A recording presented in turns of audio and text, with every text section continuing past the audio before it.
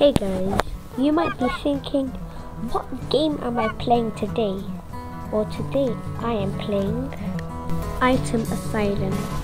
These are one of my favorite games I played.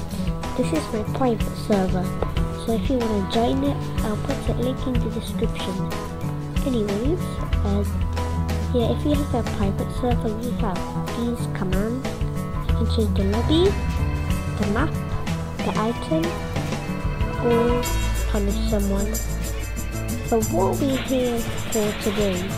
Well, we're going to show you an item asylum boss. So let me show you how to get the boss. Well, it's kinda rare, but if you have a private server, you can do it. You're gonna have to press this, go to change map, go to the bottom. I think the bottom Yeah, so the spread one. Boss, save. 这一次我 And 真的 after 是 that, you're just gonna wait until the map. Yeah. So- Okay. There we go. Ouchies. So you. If I have something, Death Note. If I know where it is. Come on. Is it? Oh, there it is.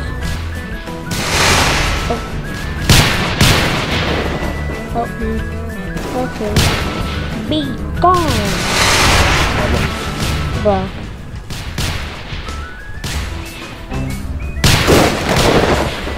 Be gone! And that's how you defeat him. Uh, okay, bye bye.